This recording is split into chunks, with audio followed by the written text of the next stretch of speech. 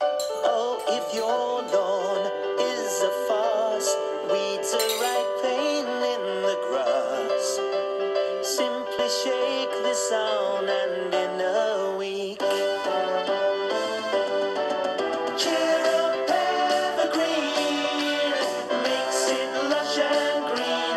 It's the easy peasy way to get the lawn of your dreams.